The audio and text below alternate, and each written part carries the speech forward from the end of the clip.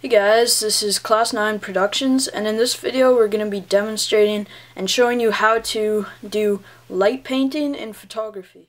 So I'm just going to switch over to my little iPod Nano and uh, show you what equipment you're going to need.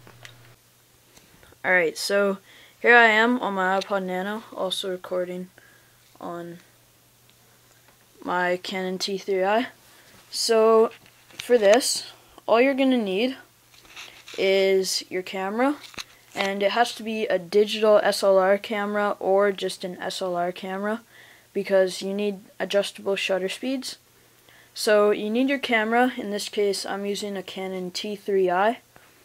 You're going to need a tripod and you're going to need a flashlight like I have right here. And yeah, so let's get started.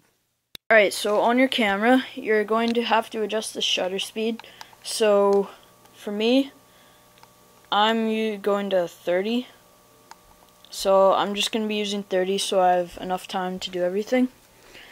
And all you need to do, get your camera set up where uh, when you turn out the lights, it'll be nice and dark like that. You can't really see too much.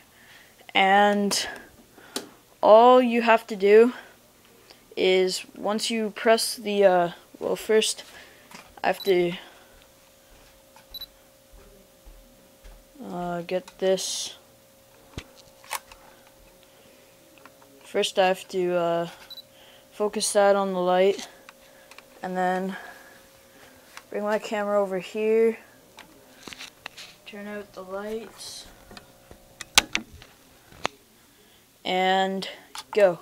And now I'm just to use my flashlight and just create random patterns in front of my camera. And now I'm to turn off my flashlight, come back here behind my camera, which you can't see. There we go, you can kind of see it now. And just wait for that to take the picture.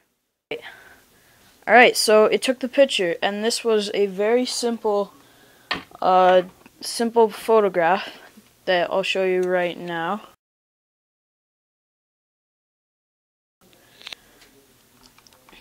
And so as you can see, basically, uh, so basically I was just moving my flashlight in random circles. You can experiment with different color flashlights to make different colored scenes with your lighting and you can do like graffiti, and draw pictures, it's pretty cool what you can experiment with. So thanks for tuning in, this has been Class 9 Productions. See ya.